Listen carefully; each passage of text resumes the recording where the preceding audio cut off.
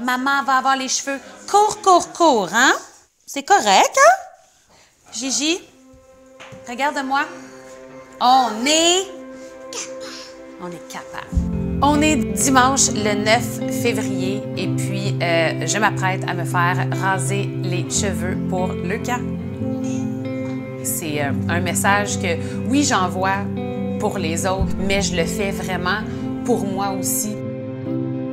L'équipe de Lucan m'a proposé, en fait, de le faire. Puis euh, ma première réaction, c'était de faire comme non. non. Puis là, j'étais confrontée à mes propres insécurités.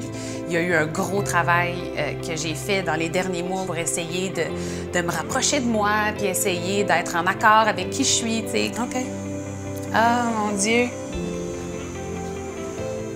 Puis quand j'ai trouvé avec quelle partie de mon corps dire oui, là, puis que c'était mon cœur, là, à partir de ce moment-là, pour moi, c'était, déjà fait. J'ai déjà les cheveux rasés. Oh my God.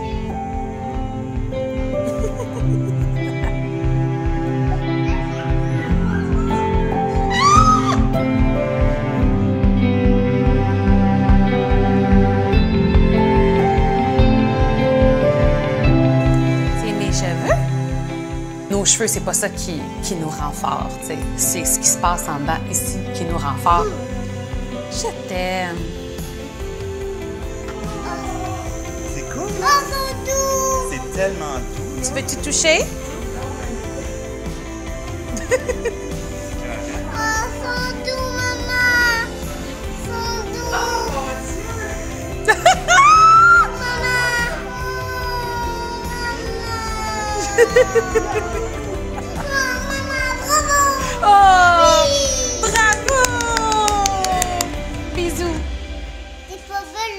Pas beau ça? On va l'enlever. Ça, là, enlève ça, là, hein.